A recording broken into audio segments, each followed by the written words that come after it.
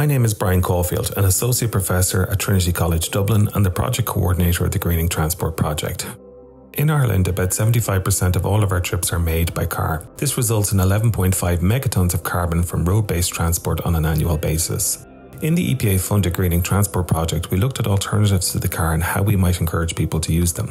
One of the key elements of the project was to understand commuters' travel behaviour. To do so, we asked commuters, for example, if they had more dedicated cycling tracks and more space for pedestrians, would they be more likely to use these modes? Public transport was also examined. We looked at what would encourage people to use these modes more frequently. We looked at how these vehicles were currently fueled and how alternatives would improve the environment. The project team were also keenly aware that public transport and active modes would not be the only solution. We looked at the private car and ways to make these cars more sustainable by examining car clubs and car sharing. We also looked at how we could change the fleet by electrification, what this would then do to the overall emissions profile. The Greening Transport Project provides a firm evidence based approach to understand how we could reduce our emissions in transport, and all of our findings are available on greeningtransport.ie.